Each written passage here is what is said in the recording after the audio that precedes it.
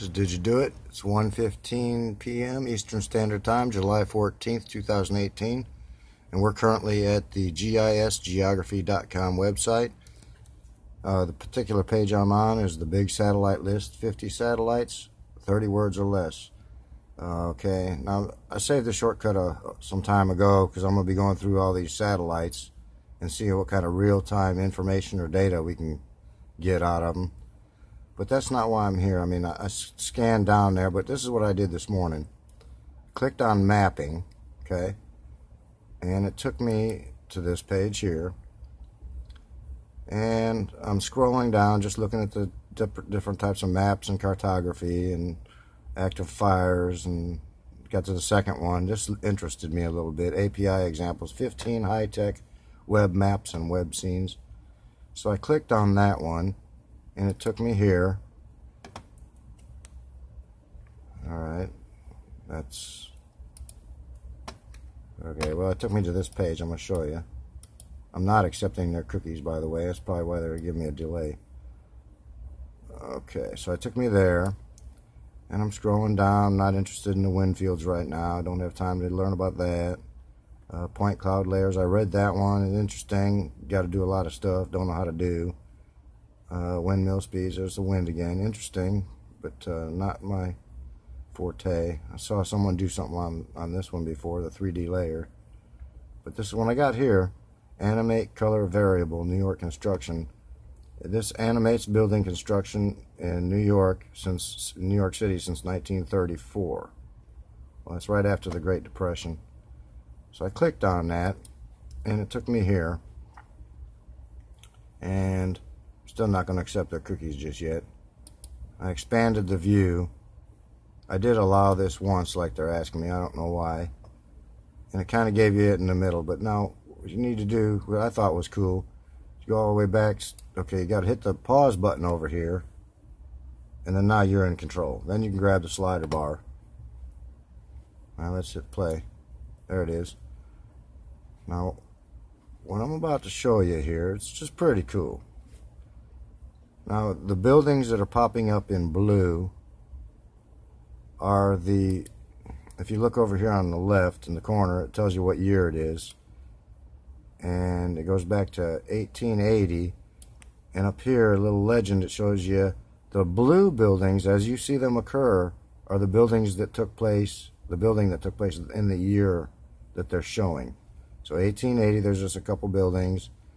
The uh, purple ones and the magenta ones were before 1860 and even before 1830 but there's not much in New York at that time uh, on Manhattan Island but we're going to go forward a little bit Okay, I'm going to pause it. We're in 1882. Now watch. Not much.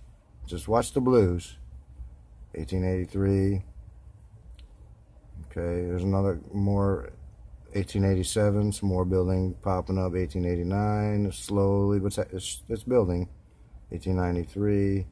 1895. Not much. It's popping up. 18, 1899. Whoa.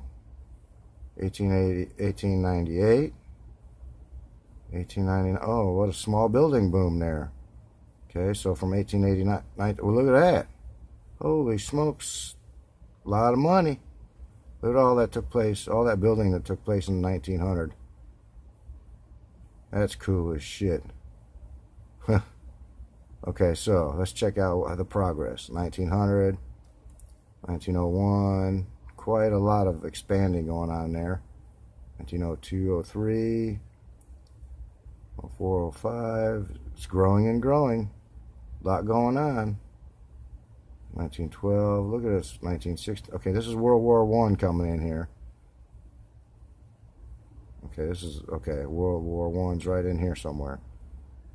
So you'd expect it to slow down a little bit during the war, and it did. Well, there's 1920. A little boom happened there, but then it's kind of slow going. Here's uh, the Great Depression right in here. Not so much happening, just it's growing though. And then uh, somewhere in here, the Empire State Building was built. Cheap labor after the uh, Great Depression. More unemployed people, cheaper you get them. Okay. Uh, so 1940, here's World War II going on. It's just kind of slow, slow 46.